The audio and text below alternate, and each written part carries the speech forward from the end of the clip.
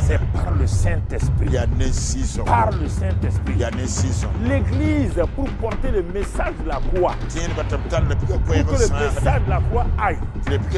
Parce que Paul dit dans 1 Corinthiens 1, o de dani kɔrɔtɛ ye versets 11 et 20, verset pile ne pisi que le message de la croix, c'est la puissance de Dieu pour quiconque croit. Le message de la croix est la base. Pour que le Saint-Esprit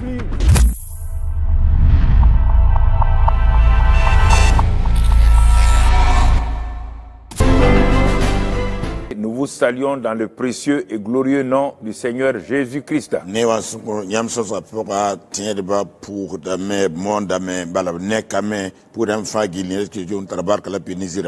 Nous sommes en train d'avancer dans la série que je suis en train d'animer. Après, d'autres orateurs viendront prendre le relais. zinga Et je veux que nous puissions comprendre que l'Église est, la lumière et le sel. Lumière pour éclairer ceux qui sont dans les ténèbres, sel pour assaisonner ceux dont la vie est devenue fade. Mais si la lumière perd de sa splendeur et si le sel perd de sa saveur, yamsem noosem sã n looge euh, elles ne servent, et du moins, les deux ne servent qu'à être rejetés. C'est pourquoi aujourd'hui, je vais vous amener au commencement de l'Église. Pourquoi l'Église a-t-elle été établie sur la terre? Et qu'est-ce que l'Église, cette Église primitive-là, faisait? Et quel exemple cette Église nous a donné? Pour nous amener à suivre ces traces de façon permanente. Donc aujourd'hui, nous allons voir quelle est la différence entre l'Église primitive et l'Église d'aujourd'hui. tẽedbã ne taaba Ah, pourquoi je dis cela Ah, certains vont me dire, mais l'Église doit changer selon, selon les circonstances, selon les, euh, les années, selon les générations. C'est parce que vous ne comprenez pas la parole de Dieu que vous parlez ainsi. C'est le monde qui devait suivre l'Église et non pas l'Église suivre le monde. Le monde n'a pas de repère. Le monde ne sait pas à qui regarder. Alors que l'Église a un repère, Jésus-Christ. si Jésus-Christ est notre repère, et il est, regardons ce que la Bible dit dans Hébreu 13 et au verset 8. Dans Hébreu 13, verset 8, hebre piila tãab vɛrsa nii pʋga il est écrit Jésus-Christ. Est le même hier, aujourd'hui et éternellement. Écoutez très bien. Le Jésus-Christ qui est notre repère, qui est la tête de l'Église, qui en est le Sauveur et le Seigneur,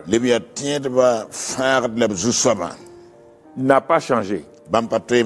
Il est le même hier, aujourd'hui et éternellement. Alors, si vous comprenez, laissez l'Église institution, là, laissez ça, là, c'est ça qui nous crée des problèmes.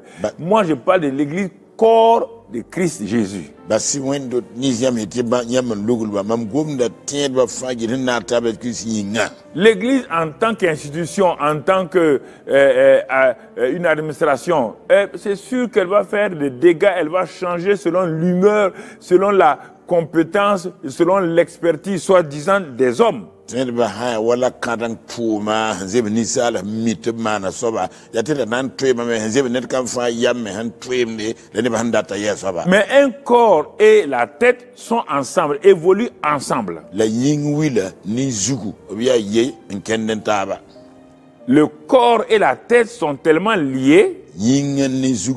Taab hali que les deux évoluent ensemble.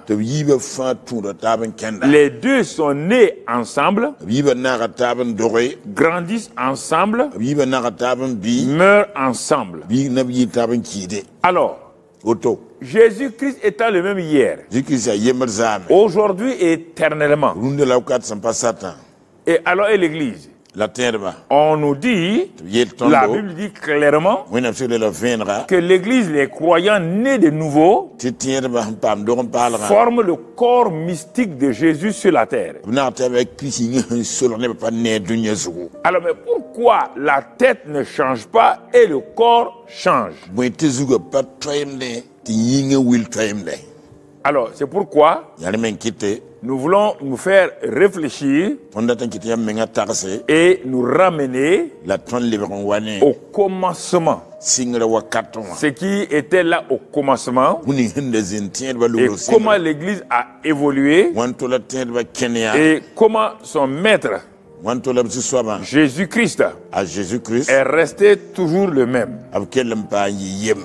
En quoi Jésus est-il resté le même? C'est ce que nous allons voir. Jésus, la tête de l'Église, est resté le même en amour agapao, est resté le même en puissance de l'Esprit, est resté le même en parole, parole divine. Si c'est faux, regardons. Et quand nous allons voir l'exemple de Jésus, l'exemple de l'Église primitive, nous allons nous regarder nous-mêmes. Est-ce honnêtement, l'Église d'aujourd'hui, est-ce que nous ressemblons à celle d'hier et ensuite à notre Seigneur Jésus-Christ qui est la tête de l'Église? Alors, regardons en quoi, qu'est-ce que Jésus, notre modèle, euh, était et comment il a fonctionné.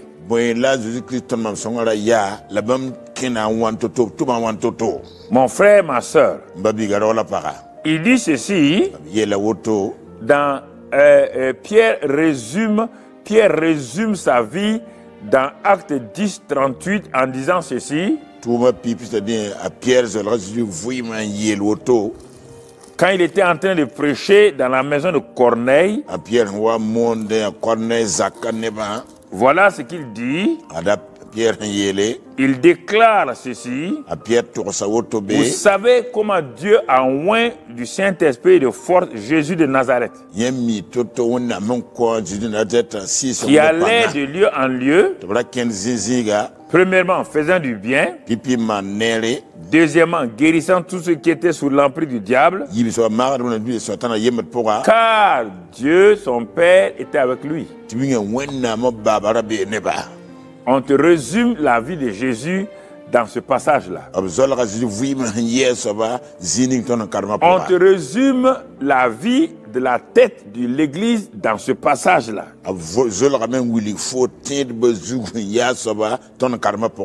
C'est Jésus qui est la tête là. Il est dit ici, il a été oint du Saint-Esprit et de force. Et il allait partout. Il faisait du bien. Et il manifestait toutes sortes de guérisons pour ceux qui les rencontraient. Ça, c'est la tête. Réfléchissez déjà. Est-ce que l'Église, corps de Christ, est-ce que l'Église est, est remplie du Saint-Esprit de force. Est-ce que l'Église va de lieu en lieu? Est-ce que l'Église, mon frère, ma soeur, fait du bien? Est-ce que l'Église continue, comme son Seigneur, à guérir tous ceux qui étaient sous l'emprise du diable? Eh, et étant conscient de la présence de Dieu en lui et avec lui. Neba Dans Matthieu 9, 35, matɩ wa pistã la nu regardons toujours Jésus, la tête de l'Église. d kell n gasa zeezi n yaa tẽedba zugã Qu'est-ce qu'il est écrit? Il parcourait toutes les villes et les villages, enseignant dans les synagogues, prêchant la bonne nouvelle du royaume et guérissant toute maladie et toute infirmité. Verset 36. verset pistã la yoome Voyant la foule, il fut ému de compassion pour elle. Vous le voyez encore là? On te montre la tête de l'Église. On te montre comment la tête faisait afin que le corps, le corps qui va être amené à l'existence puisse faire textuellement comme la tête.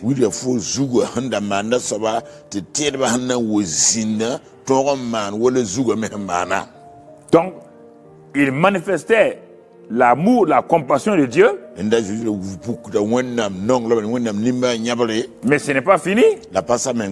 Comme on a parlé de l'amour agapao, dans Jean 11, verset 1 à 5, zã piila yembre verset n tõng tãga quand Jésus a appris que son ami Lazare était malade,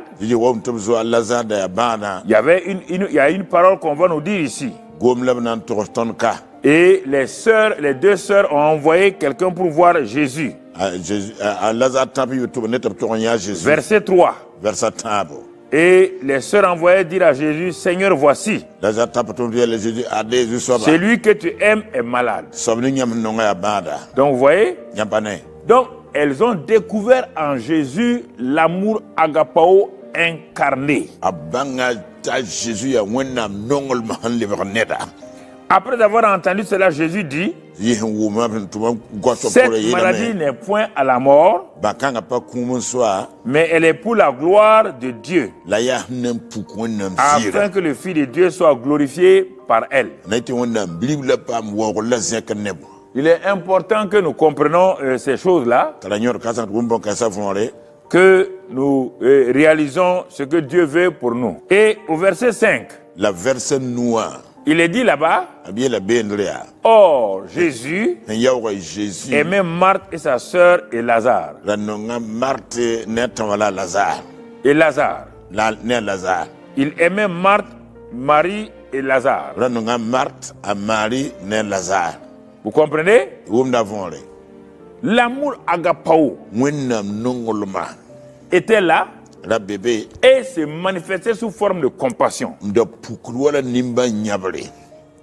Et Jésus la Jésus nous parle pour montrer que cet amour est réel. Verset 35 toujours de Jean 11. zã piila yen pis tã la nu Quand il a appris que Lazare était mort, il allait vers le tombeau. On dit Jésus pleura. L'amour agapao pleure. Et l'amour agapao se manifeste envers les gens par la compassion et pour envers ses amis, ses frères et son peuple.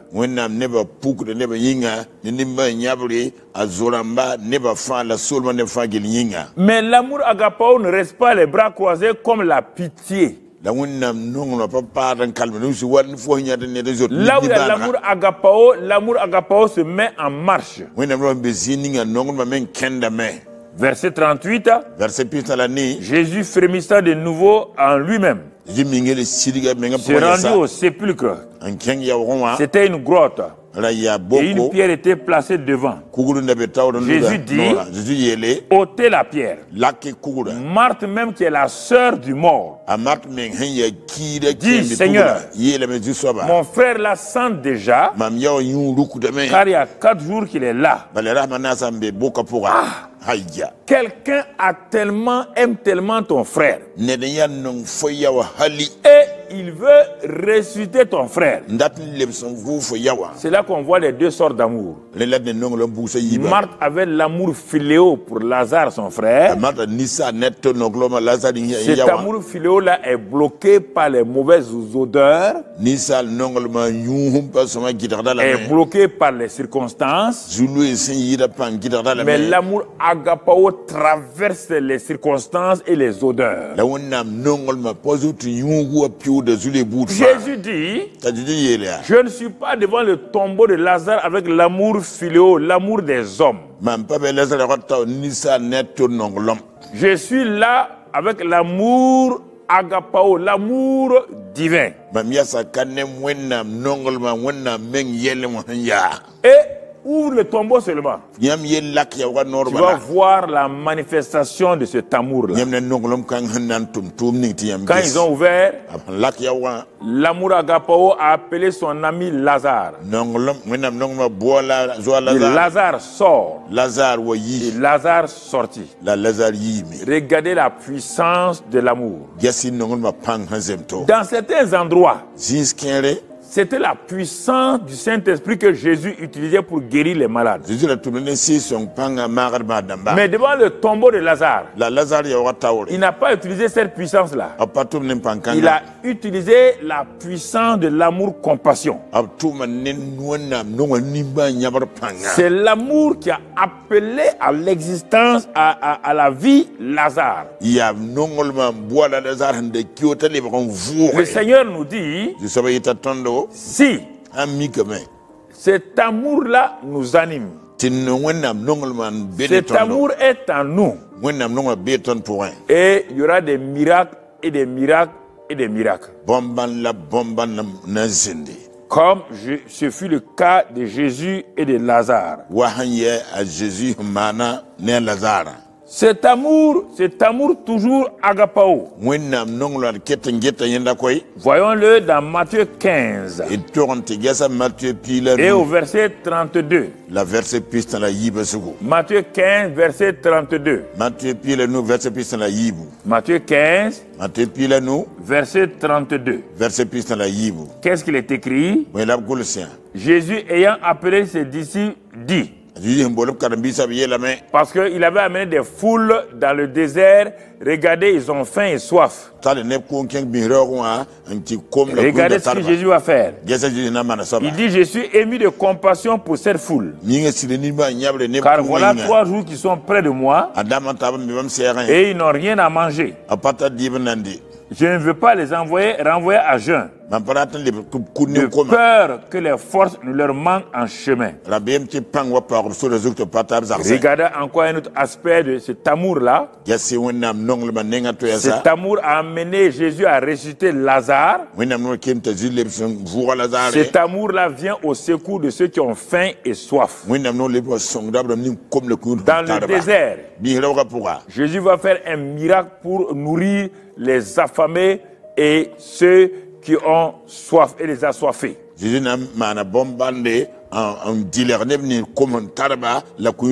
Alors Jésus s'arrête. Il s'arrête. Dans Jean 13, zã pii la tãabo mon frère, ma soeur, regardons ce que la parole de Dieu va nous dire. Regardez maintenant, il va euh, enseigner à ses disciples ce qu'est l'amour agapao. Il yaa avant la fête de Pâques, Jésus, sachant que son heure était venue de passer de ce monde au Père, nengẽ et ayant aimé les siens qui étaient dans le monde, mit le comble à son amour pour eux. Mit le comble à son amour pour eux. C'est cette expression que je veux euh, vraiment euh, euh, arrêter. Alors vous voyez ici, il a aimé les siens Et il va mettre le comble à son amour agapao, sachant qu'il y avait un traître parmi le groupe. Il va laver leurs pieds, il va les bénir. L'amour agapao fait tout cela. Et maintenant, quand il a fini ça, il va leur dire au verset 34, verset pistã la naasã Je vous donne un commandement nouveau. Aimez-vous les uns les autres comme wala je vous ai aimé. Il parle maintenant au corps. yĩngã À nous. Aimez-vous les uns les autres. Comme wala moi je vous ai aimé. Aimez votre femme. Comme. Wala je vous ai aimé. Aimez votre mari. Comme. Wala je vous ai aimé. Aimez vos enfants. Comme wala je vous ai aimé. mam maan nongl ne yãmba Enfants, aimez vos parents. Comme. je vous ai aimé. Aimez vos voisins. Comme. Je vous ai aimé. Aimez vos ennemis. Comme vous qui étiez mes ennemis. Je vous ai aimé. Il parle au corps. Que nous sommes. Et nous allons mettre tout ça à terre, commencer à nous haïr, commencer à nous diviser. Donc Jésus est triste, triste, triste, triste. Il dit à ceci, tous connaîtront que vous êtes mes disciples. Si vous avez l'amour les uns pour les autres. Ah? Ahan. L'amour est le signe par excellence de notre discipulat. nonglem la bãn sẽn tʋg n tɩ yɩɩde ne tɩ tõnd yaa karen-biis n sakd tɩ soaba L'amour agapao. Wẽnnaam menga nonglmã pour les ennemis, tõnd bɛɛb yĩnga pour nos frères et sœurs, tõnd ba bisrba pagb yĩnga les maris pour les femmes, pagba yĩnga les femmes pour les maris, les parents pour les enfants, les enfants pour les parents. Il dit c'est à ce signe-là que le monde saura que vous êtes disciples de Jésus. Arrêtez-vous là. Église, nous voulons vaincre, mais sans pratiquer ça. Nous voulons avoir des familles heureuses, sans pratiquer l'amour agapao. Nous voulons des assemblées locales sans amour agapao. Nous voulons eh, aller vers le monde, mais sans amour agapao. Nous voulons leur dicter nos lois. L'église, le chef de l'église n'a jamais fait cela. Le chef de l'église n'est pas un homme sur la terre, il s'appelle Jésus-Christ de Nazareth. Il n'y a pas de chef de l'église. Non. a Non, non, non. Aïe, aïe, Il y a une seule église universelle, indivisible, c'est l'église de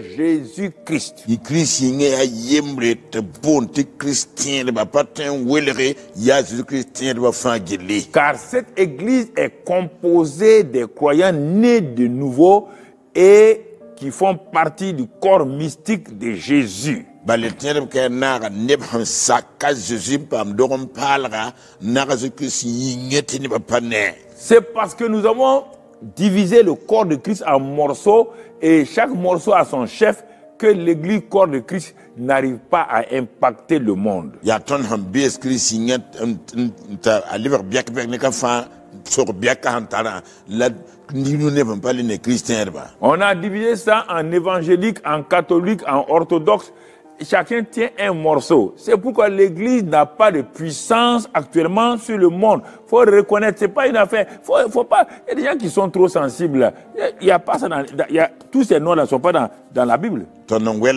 évangélique catholique orthodoxe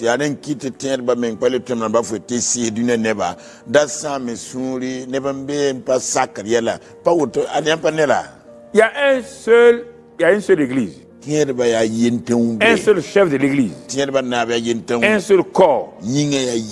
C'est fini. saame Et le chef là s'appelle Jésus-Christ. De Nazareth. C'est lui qui nous a sauvés. tõnd Il n'y a aucun homme qui nous a sauvés. Tous les hommes sans exception, sans exception, sont pécheurs, étaient privés de la gloire de Dieu.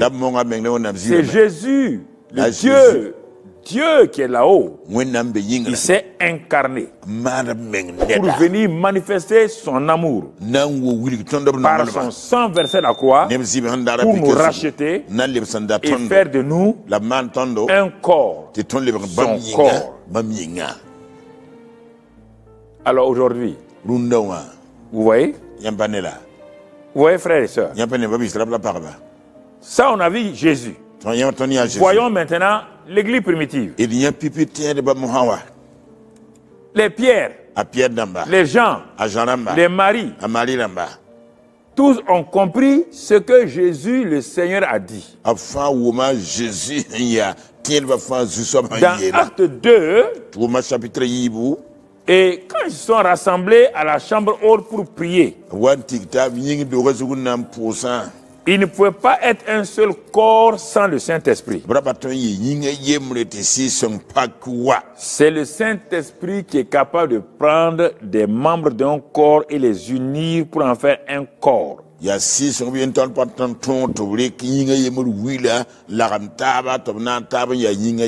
C'est pourquoi Jésus a dit, allez attendre dans la chambre haute.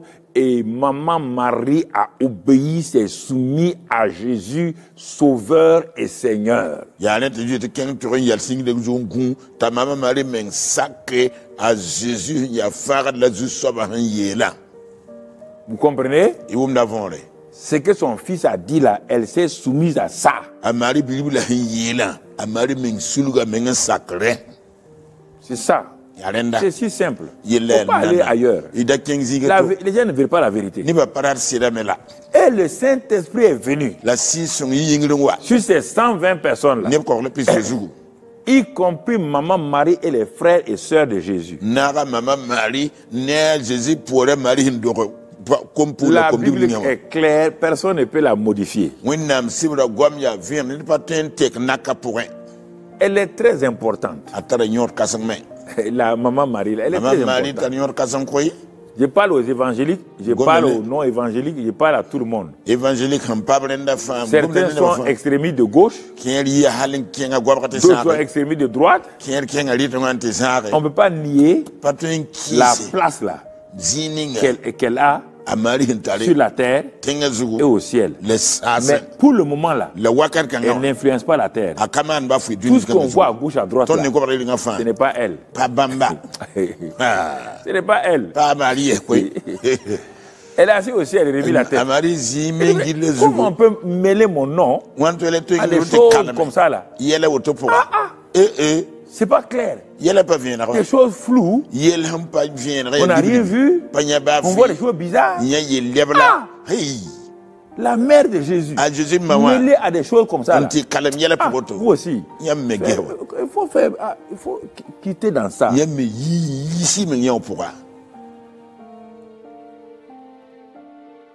Vous comprenez?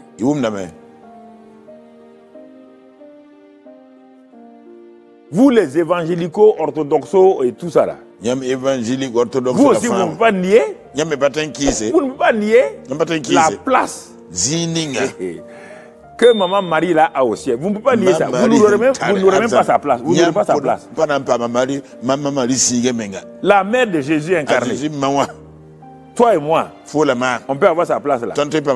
Si elle n'a pas accepté, toi et moi on serait là. Voilà. Je mets tout le monde à égalité. Voilà. Que chacun de vous, extrémiste de gauche, extrémiste de droite, centriste, vous asseyez tranquillement. Et on continue. n ne pas vous fâcher. Nous, on prêche la parole de la, la Bible. On ne prêche pas les dogmes, ni les traditions, ni autre chose. c'est la parole de Dieu. Voilà. Un point, un trait, c'est tout. Amen. amen Continuons. Alors, quand ils ont eu le Saint-Esprit tɩɩsõnga et maintenant, le corps va agir comme la tête. Quand il n'était pas un corps encore, regarde comment Pierre a trahi. Regarde comment les disciples ont fui. Quand le Saint-Esprit a fait de ces 120-là sẽn kɩt kobg la pisi des membres du corps de Jésus, et au fur et à mesure, tous ceux qui venaient à la, à la nouvelle naissance comme nous autres, il nous a mis dans ce corps-là. pʋga Regardez qu'est-ce que le corps est censé faire. Ils ont prêché la tête qui est Jésus. zugu sẽn yaa zeezi wã 3000 personnes sont entrées dans le corps-là le même jour. Qu'est-ce qu'ils faisaient? Qu'est-ce qu'ils faisaient? Mon frère, verset 44. ba biiga vɛrse pɩɩna la naase Tous ensemble qui croyaient étaient dans le même lieu. Et ils avaient tout en commun. Ils ont compris l'amour agapao. Ils vendaient leurs propriétés. Et leur b zĩisi la b logo et ils en partageaient le produit entre tous, selon les besoins de chacun. Ils étaient chaque jour, tous ensemble, assidus au temple. Ils rompaient le pain dans les maisons. Et prenaient pour nourriture avec joie et simplicité de cœur Louant Dieu. et trouvant grâce auprès de tout le peuple. Et le Seigneur ajoutait chaque jour à l'église ceux qui étaient sauvés. soba ra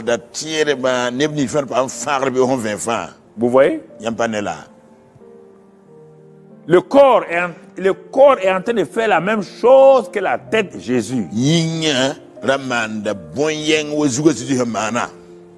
Même quand on les a persécutés, ils ont continué à appliquer donc ce que le maître leur a dit de, de continuer. Dans Acte maana 4.32, tʋʋmã naas pɩsã la yɩ ils a- la multitude de ceux qui avaient cru n'était qu'un cœur et qu'une âme. Voici le corps, voici le corps de Christ. Un cœur et une âme.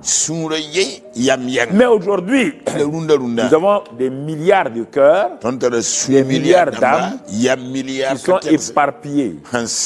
Comment voulez-vous que le corps puisse être aussi puissant que la tête?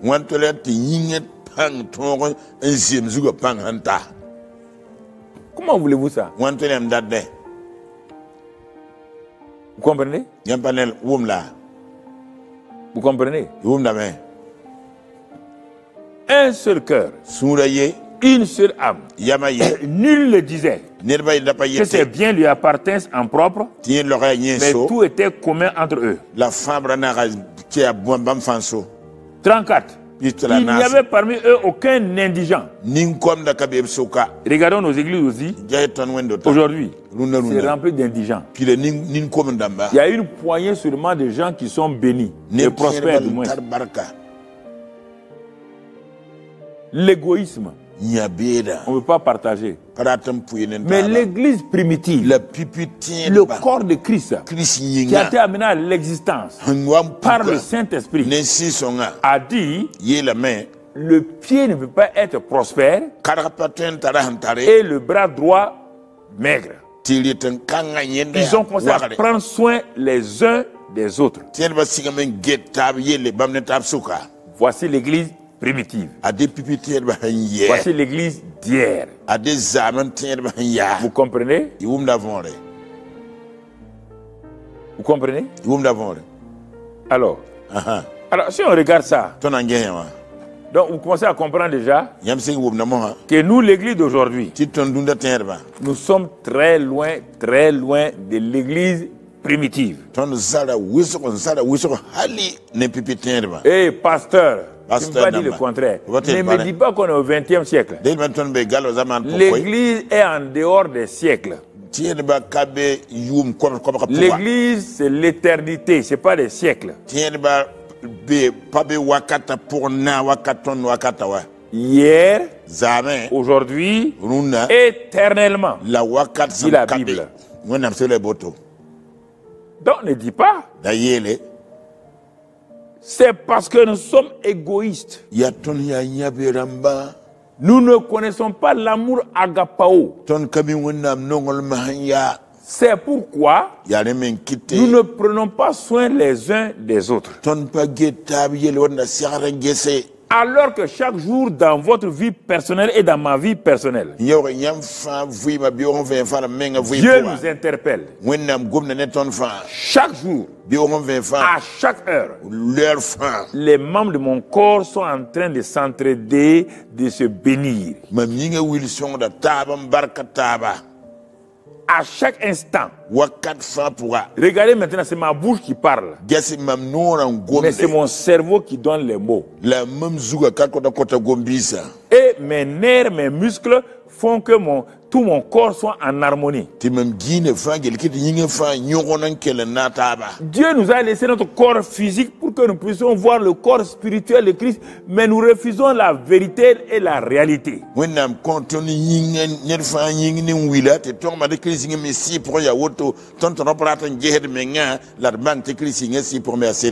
Et dans Matthieu 25, la nu de verset 31 jusqu'au verset 40, vɛrse pis yel tõnd t'a pɩɩ on ne va pas le lire, mais il est dit là-bas que à la fin, quand Jésus reviendra, baasga zĩ sãana n lebg wa il va mettre deux groupes de côté. Parmi les croyants là, ceux qui seront à sa droite, il va leur dire, vous êtes très heureux. Parce que vous avez pris soin de moi. Quand j'étais malade, quand j'étais nu, quand j'étais en prison. Vous avez pris soin de moi. Mais les gens leur diront, mais on n'a jamais, on t'a jamais vu. C'est ça. L'église là, primitive, prenez soin des démunis, des malades. Guérissez les malades. Pratiquez l'amour agapao. Vous aussi, vous avez fait ça. Il dit chaque malade, chaque prisonnier, prisonnier ce- toute personne qui est nue et qui a faim, il dit c'est moi-même. Ah, ah bon? Il dit à cause de ça, entrez dans la joie de votre maître. Mais les membres du corps, la vous m'écoutez maintenant? Vous êtes assis là. zĩime Cumuler l'argent, cumuler l'argent, cumuler l'argent. Écoutez-moi. Mais ceux qui sont à sa gauche, ils se tournent vers eux. Il dit malheur à vous. Parce que vous m'avez vu malade, en prison, nu, affamé, assoiffé. Vous n'avez rien fait. Et aussi diront, n mais quand on t'a vu, Il dit, ah bon. si vos yeux étaient ouverts sur l'amour agapao, vous allez savoir que vos frères dans vos églises là, ils font partie de mon corps. Les frères qui ont faim, les frères qui ont fait des fautes, ils sont en prison. Les frères qui sont malades là, les sœurs qui sont malades là, vous devez les reconnaître et savoir qu'ils sont des membres de Jésus Du corps de Jésus. qui sont malades, qui sont en prison, qui ont faim et soif. Mais nous on dit que s'il est en prison, il est mauvais. Jésus dit, même s'il est mauvais, C'est mon membre. il fallait aller l'aider, le conseiller.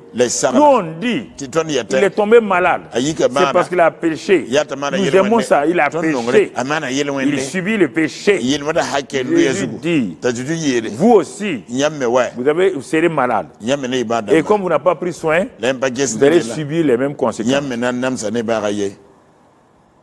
L'église d'aujourd'hui a déformé l'évangile. C'est pourquoi nous avons mis en place des doctrines, des dogmes, toutes sortes de choses pour nous auto-satisfaire.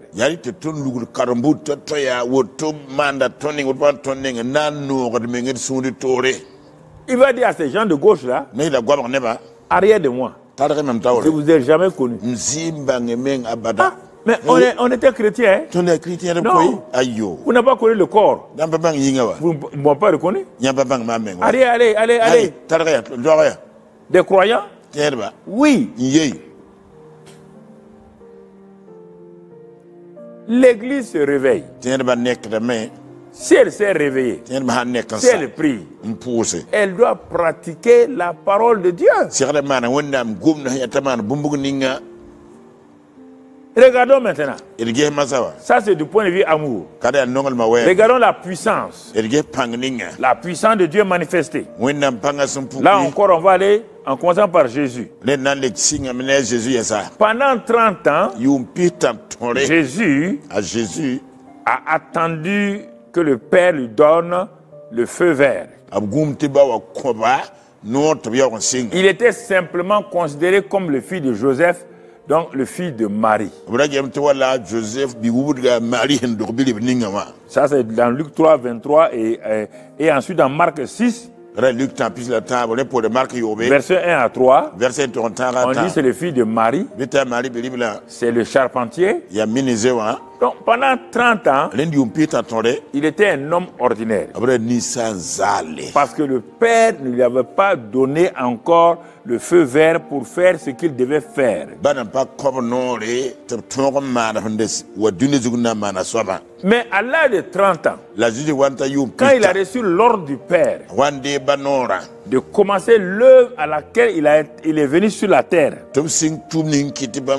l'œuvre pour laquelle il a été incarné, alors il alla au Jourdain. Là, il fut baptisé par Jean-Baptiste, le prophète. Quand il est sorti de l'eau, il pria et le ciel s'ouvrit.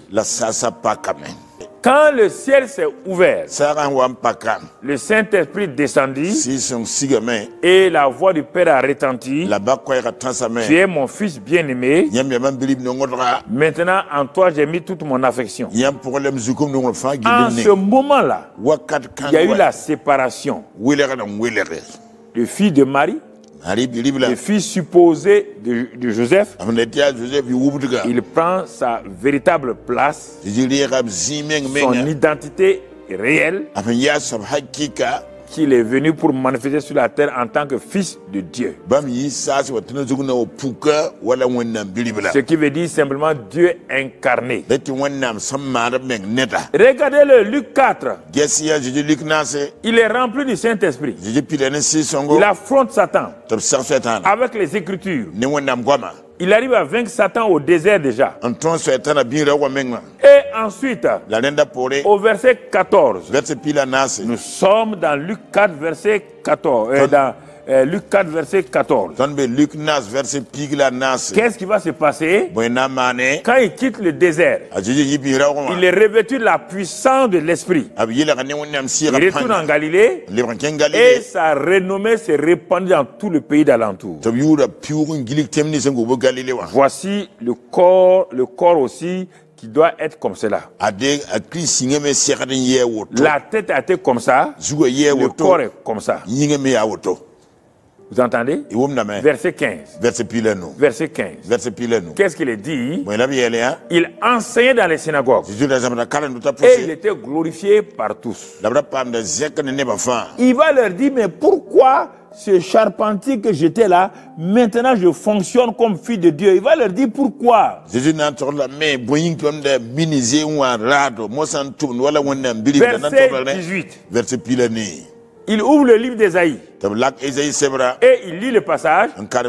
L'Esprit du Seigneur est sur moi. Parce qu'il m'a au moins. pour annoncer une bonne nouvelle aux pauvres. Voilà tout le secret de Jésus, homme, fils de l'homme sur la terre.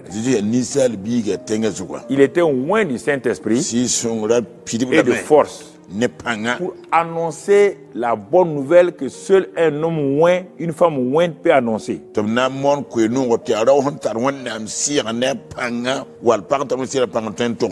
Jean-Baptiste n'a pas pu annoncer cela.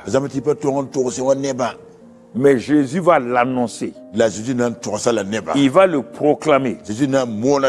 Pour démontrer cela, dans Luc 4, toujours verset 31. nan wilgre da luk nas pita la yemr masã 31. Il descendait à Capernaum. Il enseignait le jour du sabbat. Quand il enseignait là-bas, quelque chose va se passer. Mon frère, les gens étaient frappés de sa doctrine. a Jésus gis karem wã da pãbda Il parlait avec autorité.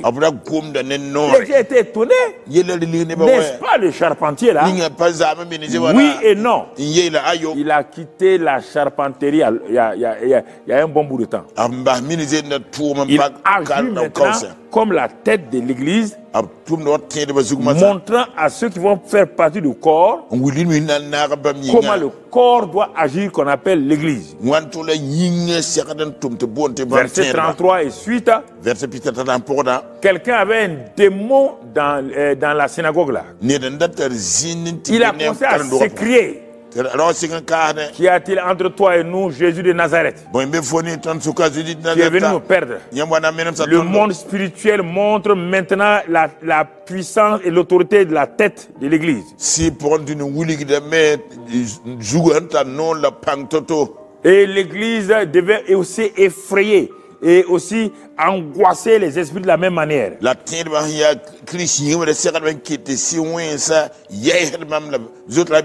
Et Jésus allait de lieu en lieu. Il manifestait la puissance. Jésus dit au démon, tais-toi et sors. Le démon jeta l'homme et il sortit. Les gens étaient étonnés. Les gens disent, ah, hã mais comment cela se fait-il? Il commande avec autorité et la aux esprits impurs et ils sortent. Vous dites que vous êtes le corps de Christ, que nous sommes le corps de Christ. Où est l'autorité et la puissance? Bɩ Prêtre, mõn pɛd dãmba et je vous parle, pasteur, les démons nous narguent, les démons rient de nous. Et nous envoyons parfois indirectement nos, les, les disciples de Christ aux, aux démoniaques. Parce que l'Église est sans autorité sans puissance. pãngã La seule autorité de l'Église, c'est l'Église institution. Président d'église, président d'église. Évêque. Évêque On doit nous obéir. Mais où est l'autorité? Où est la puissance? Devant les démons. Les démons narguent l'Église. Les démons rentrent dans les églises. Partout, les démons rentrent. Rient des chrétiens. Rient des pasteurs. Et les gens sont assis. Les chrétiens là sont liés, ne sachant où aller. Mais l'église primitive, la aucun démon ne s'est moqué d'eux. Aucun démon ne s'est moqué d'eux. Pierre le Peureux, pierre dans Acte 3, tʋʋma chapitre tã quand il trouve un homme paralytique a sẽn yã põore yembre. devant le temple, il dit à cet homme-là, il dit, Jean et moi, regarde-nous. Quand ils ont, il, il a regardé Jean et, et- et Pierre, a sẽn ges a zã ne pierre il dit, eh, non pas d'argent, hein, mais nous avons quelque chose. Au nom de Jésus-Christ, te disons, lève-toi et marche. Devant toute la foule, le paralytique s'est levé. L'église primitive était comme son maître. b Et l'église d'aujourd'hui. Écoutez, suivez-les, suivez-les. Dans Acte 4, tʋʋma chapitre naase quand ils ont été remplis de nouveau, quand Pierre marchait, pierre dans Acte 5, tʋʋma chapitre no versets 12 à 18, verset piila ni Pierre marche dans les rues de Jérusalem. pierre On posait les malades. Son nombre seulement guérissait les malades. baara maara bãa dãmbã L'église primitive, en- à travers les Philippe, ne philippe damba les diacres, les Étienne, l'église primitive, tout le monde, les chrétiens ordinaires, les diacres, les anciens, les pasteurs, les évêques, tous manifestaient la puissance. La ville de Jérusalem était bouleversée. D'où viennent ces hommes-là? Nous les connaissons. Les pierres-là n'ont pas étudié. Mais- Leur marque, étaient avec Jésus. bien jésus. Jésus est avec eux. a jésus me bien ne Voilà l'église. Aujourd'hui, Nous avons manqué ça. Où est notre Jésus? Où est-il là où vous, vous suivez là? Yam Où est-il votre Jésus? Où est-il? Nous avons donné des titres, frères et sœurs. parba Un homme qui était ennemi de Jésus. S'appelle Saul de Tarse. Quand il était convaincu, rempli du Saint-Esprit, regardez-le partout où il re Partout où il va, signe, bana. Miracle, délivrance, à tel point qu'il arrive à Thessalonique. Dans Acte 17, versets 5 et 6. tuma pili pe verset nuna Acte 17, yobe versets 5 et 6. tuma pili pe verset nuna Quand Pierre arrive là-bas, avec Silas, avec, euh, c'est ça, quand il arrive avec Barnabas, et les gens ont dit, yele oh, la ville était secouée. Et les gens leur ont donné un nom nouveau. Ils ont dit, les gens qui sont venus ici là, les bouleverseurs du monde là, un nouveau nom. On les appelle les bouleverseurs du monde. Ils bouleversent là où ils s'en lablo Ils bouleversent par la puissance. C'est toujours dans Acte 17, versets 5 et 6. kete anim panga la gudugudu dunya Ceux qui ont bouleversé le monde sont au milieu de nous. so L'église d'aujourd'hui va n'importe où, personne ne sait que l'église est là. J'ai vu des églises qui sont dans des marchés et les gens continuent à vendre les samsas et les galettes et autour du marché et l'ombre du bâtiment de l'église même, les gens venaient s'asseoir pour vendre les samsa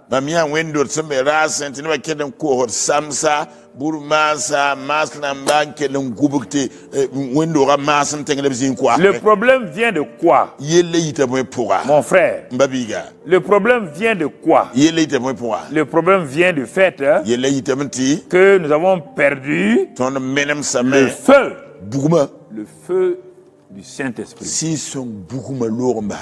L'église primitive, bibi ter ba dans la chambre haute, quand le Saint-Esprit est descendu, il a été précédé par du vent, la puissance, le feu, des langues de feu. Se posèrent sur chacun. Comme Jean-Baptiste a dit, il dit voici Jésus là. Non seulement il ôte les péchés du monde, mais il vous baptisera du Saint-Esprit de feu. Quel est votre baptême du Saint-Esprit? La plupart des gens qui vous êtes en contact avec moi là, votre baptême du Saint-Esprit là, il n'y a pas le feu là-dedans. Il n'y a pas le feu. Il n'y a même pas la plénitude du Saint-Esprit. La seule chose là, c'est quelques petites paroles en langue. Coca-Cola, coca cola mama, ma, mama bobo. bo bo bo Il n'y a pas de puissance. Il n'y a pas de puissance. Ils furent baptisés. la Maman Marie et les pierres. mama marine pierre Baptisés du Saint-Esprit et de feu. Quand ils sont descendus, wa ils ont allumé le feu parmi les pentecôtistes. a widiga lis quoi pentecôte tigre ne fanzuku Ils ont allumé le feu dans cette foule dont ils avaient peur.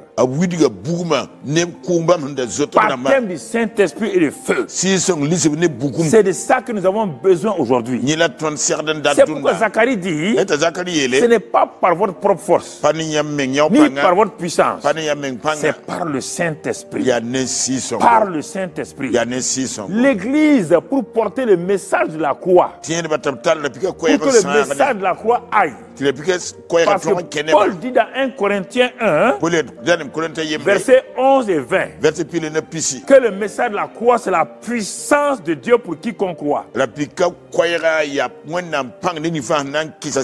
message de la croix est la base pour que le Saint-Esprit vous remplisse de son feu. C'est pourquoi quand Paul a compris le message de l'œuvre achevée de Christ, il a été saisi par le feu du Saint-Esprit. Il allumait le feu dans chaque ville où il allait. Il est rentré à Éphèse, où la prophétesse Diane dominait. Il a mis le feu à Éphèse. Il a installé là-bas une église puissante. Et à travers simplement les mouchoirs, les gens étaient guéris. La puissance de Diane est partie. Philippe était baptisé du Saint-Esprit de feu. Il est rentré en Samarie. a filip kẽ samari Le grand magicien Siméon est- s'est converti. Paul est, parti trouver un, un- un- un- homme proconsul. Qui avait pour conseiller un magicien du nom de Bar Jésus Elimas. Quand il a prêché le message de la croix, Elimas a été aveuglé et le proconsul a été sauvé. Partout où ils allaient, l'évangile, le message de la croix, la puissance de Dieu. Paul dit, je ne vais savoir parmi vous, 1 Corinthiens 2, je ne vais savoir autre chose que le message de la croix, Christ crucifié. Et c'est à cause de ça que le Saint-Esprit est venu sur vous pour faire de vous des témoins. Et c'est pourquoi l'église primitive, dans Marc 16, verset 20, yam tɩ mark pilg vɛrse pisi pipi Marc tɛɛdbã 16, verset 20, mark pilg vɛrse pisi et le dernier verset, ils s'en allèrent prêcher partout. Le Seigneur travaillait avec eux karen-biisã confirmait la parole par les miracles qui l'accompagnaient. Regardez aujourd'hui, pourquoi nous ne sortons pas? Pourquoi nous ne partons pas? Parce qu'il n'y a pas le feu. Le feu est éteint. Paul a dit à Timothée, mon fils, nous t'avons imposé les mains. Tu as reçu le feu devant nous. Mais je te regarde quelques années plus tard. Il dit la flamme là est éteinte. a kiime Ranime la flamme. Maintenant, vous qui êtes là en contact avec nous, le temps est venu de ranimer la flamme de votre, de votre don. En vous repentant d'abord, en disant Seigneur, nous nous repentons à cause de notre paresse, notre incrédulité, nos péchés non avoués. Nous avons éteint la- le feu du Saint-Esprit. Mais si vous repentez et vous revenez au Seigneur et vous criez, le feu du Saint-Esprit viendra sur vous encore. Et la gloire de Dieu se manifestera. Et alors, partout où vous irez, vous serez des témoins de Christ. Vous allez prêcher. Pierre est rentré dans la maison de Corneille, un Romain. Quand il a prêché, il a dit ceci. C'est Jésus que vous voulez recevoir là. Tous les prophètes de tous les temps rendent témoin de lui que c'est lui qui a été établi juge des vivants et des morts. Dans Acte 10, verset 40, et vous trouvez ça dans 42, 43 et 44. yaa tʋʋma piiga piinã la yɩ tãab la Que naase Jésus a été établi juge des vivants et des morts. Quand Pierre prêchait le message de la croix, comme le jour de la Pentecôte, le Saint-Esprit est revenu encore. Cela veut dire que le Saint-Esprit répond uniquement bala. au message de la croix. Le jour de la Pentecôte, il a prêché Jésus crucifié, a pɩɛr moona zeezi bẽn ka Jésus enseveli, Jésus ressuscité, Jésus glorifié. Le Saint-Esprit est descendu.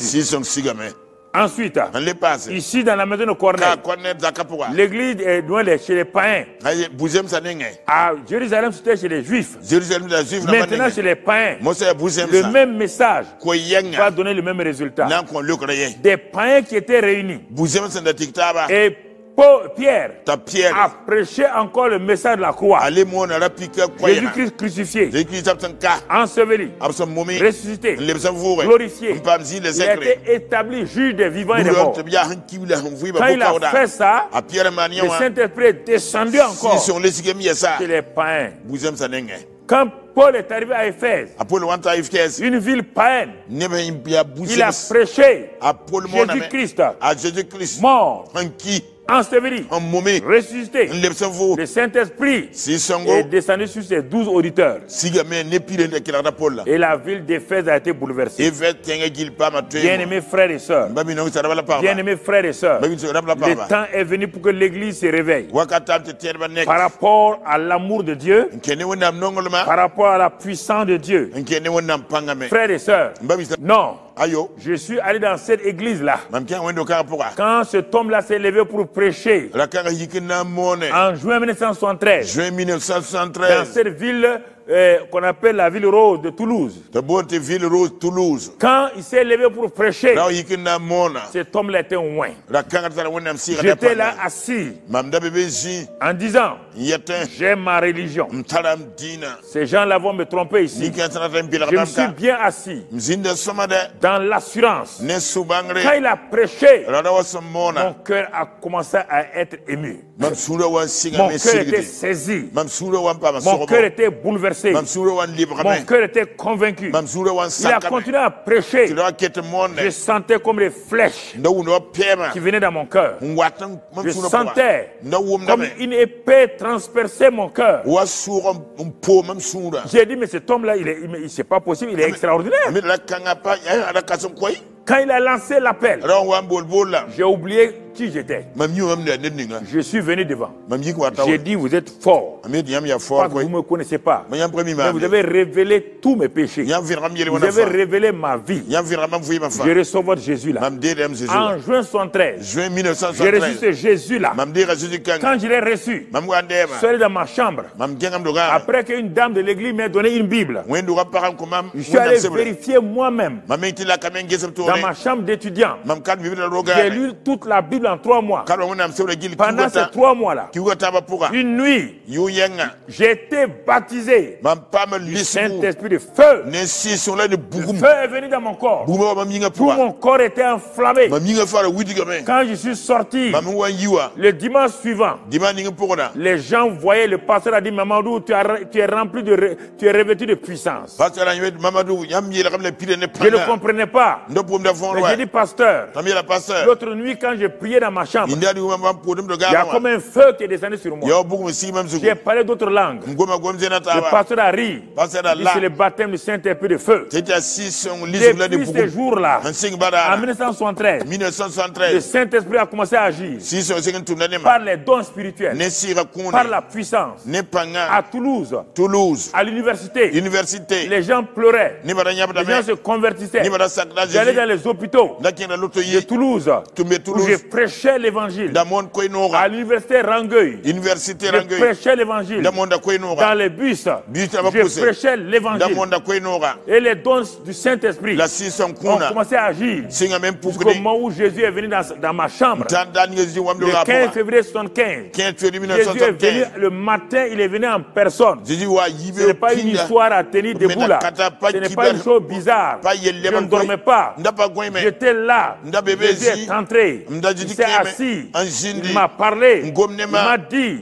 Voici, j'ai détruit les œuvres des ténèbres. Et il te donne la puissance Konta l'ennemi. Et quand il a fini, il est parti. Mon frère, ma soeur, trois semaines de gloire. Trois semaines où la puissance de Dieu m'avait saisi. Et j'ai commencé à aller de ville en ville. Quand je suis retourné au Burkina Faso, je ne suis pas assis. Je suis allé de village en village. Je prêchais l'évangile. Je n'étais pas pasteur. Mais je savais que Dieu a dit vous recevrez une puissance et vous serez mes témoins. L'évangile. J'ai ouvert des églises. J'ai donné à des dénominations. Mon frère, je n'étais pas pasteur, mais j'avais l'amour des âmes. Je voulais obéir à mon Seigneur. Jeunes gens qui m'écoutaient, Frères et sœurs, vous vous assouvissez des, des bénédictions. Vous voulez une gloire vaine. Où sont vos convertis? Où sont vos âmes? La. Bible dit que celui qui gagne des ba est sage. Quiconque ne gagne pas des pa il n'a qu'à docteur, pasteur, prophète et apôtre. Il n'est pas sage, selon la Bible. Mon frère, ma soeur. Et c'est pendant 15 années sans être pasteur que j'ai évangélisé au Burkina. Côte d'Ivoire. Bénin, Togo, Sénégal, Mali, et Guinée, Guinée, et Gabon, Gabon, dans tous les pays, James la France, France, la Belgique, Belgique, et, et l'Italie, l'Italie, et ensuite euh, le Canada. Canada, Je suis allé aux États-Unis. Pendant ces 15 années, je n'étais pas pasteur. Mais la puissance de Dieu se manifestait. L'onction de Dieu se manifestait dans les gens. La gloire de Dieu se manifestait. Mon frère, ma soeur. Et c'est ça qui m'a amené. Quand. Dieu m'a dit d'ouvrir le centre d'évangélisation, il a dit d'appeler ça centre d'évangélisation et mission intérieure. Mission intérieure Je n'ai pas donné un nom au hasard. Et c'est pourquoi, kɩte. Encore aujourd'hui, nous évangélisons et nous faisons des missions. Nous avons accompli les deux. Nous avons des centaines d'églises euh, dans les pays. Burkina Faso. Burkina Faso. On a des centaines d'églises. Évangélisation, mission. Et maintenant, édification de nos, de nos membres. Par l'enseignement. Alors, je vous pose la question. Vous qui êtes en contact avec nous, n'allez-vous pas vous mettre à genoux Pour demander à Dieu. Baptise-moi de feu. Comme le cantique, moi. Quand le cantique dit. Baptise-moi de feu. Saint-Esprit. Baptise-moi de feu. Allez-vous vous offrir comme une offrande maintenant? Allez-vous mettre à genoux? Vous voulez bouleverser votre monde? Vous voulez bouleverser le monde avec l'argent? Le monde la- connaît l'argent plus que vous. Vous voulez bouleverser le monde avec vos inventions? Le monde connaît ça. Le monde connaît l'entrepreneuriat. Le monde connaît les affaires. Plus que vous. Mais ce que vous avez, vous ne le donnez pas. Répentez-vous maintenant. Jeunes gens, jeunes filles et garçons Pasteur. kom-pugli. Pasteur qui a namba. perdu la puissance. Les démons rentrent dans ta maison comme dans leur véranda. Il y a des églises où les démons là, c'est comme des nids de poules. Les démons viennent dans ton église là, te ridiculisent et sortent. Ils maltraitent ta famille. Ils maltraitent ta femme. paga. Vous ne pouvez pas dormir la nuit. Pourtant, vous appelez pasteur et que vous dites que vous connaissez Jésus-Christ. Quel. Jésus vous connaissez?